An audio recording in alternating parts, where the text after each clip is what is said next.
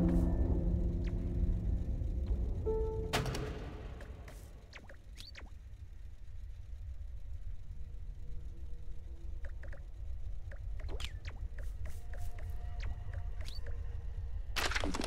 you're hearing this message, something